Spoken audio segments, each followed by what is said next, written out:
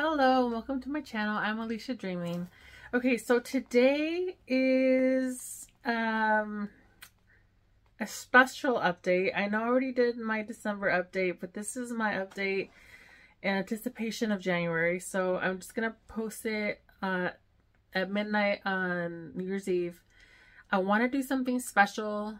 I mean, I know I have my um my year goals, but I want to do something extra special for um, January. And I want to do a digital cleanse. Like, well, you're probably asking, you're on YouTube. How are you going to do a digital cleanse?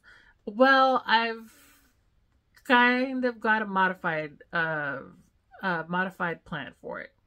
So, um, all the, all the videos in January have been filmed ahead of time except for the January update.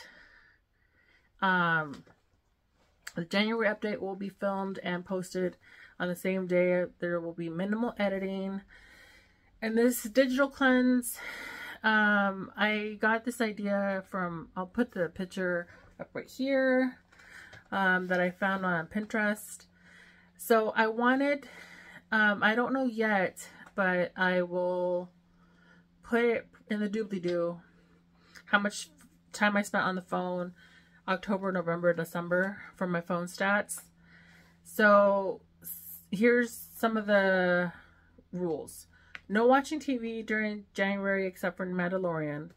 Wearing my watch daily to avoid opening my phone. Waking up at 7 a.m. for a month. Even weekdays.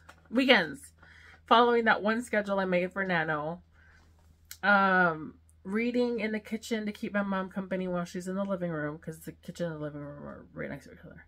Um, audiobooks, but no ebooks because of interruptions on the phone. Like you can always see the interruptions, and you can hear the interruptions on the e on the audiobooks. But um, I'm gonna try putting it on my tablet instead see if I get less interruptions because obviously no text messages. So um my daily schedule will be very strict. I will post it up here. Uh, my Bujo planner for notes instead of my phone. Um I will do a Bujo planner. It's coming up. I'm gonna do the setup. Haven't done it yet. Um so look, keep an eye out for that. Um, airplane mode on my laptop when I'm writing. And airplane mode on my cell when I don't have my Bujo journal, you know, my bullet journal. So some of the steps that I've taken to get ready for um, for January and my digital cleanse is um, queuing blog posts and Mastodon posts and Instagram. I don't know if I can queue stuff on Mastodon yet, but um, I have some planned posts for Instagram and my YouTube shorts. They're all pre-done. Like nothing's, there's nothing, there's nothing, like I am going to film videos, but I'm not going to do any editing in, Jan in January.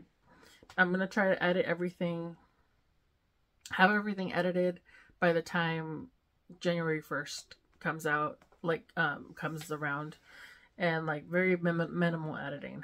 Um,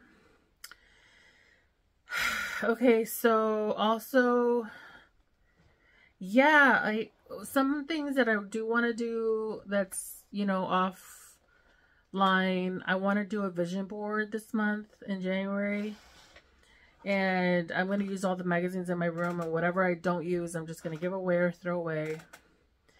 And I have to buy my poster board or maybe a foam board. I'm not sure.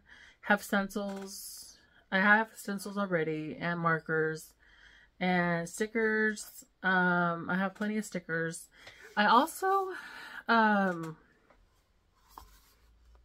will probably um, anyways, yeah, so that's so that's my plan for January. I'm going to be waking up at 7 a.m. to write and keep going on this novel that's kicking my butt because it's taking me forever.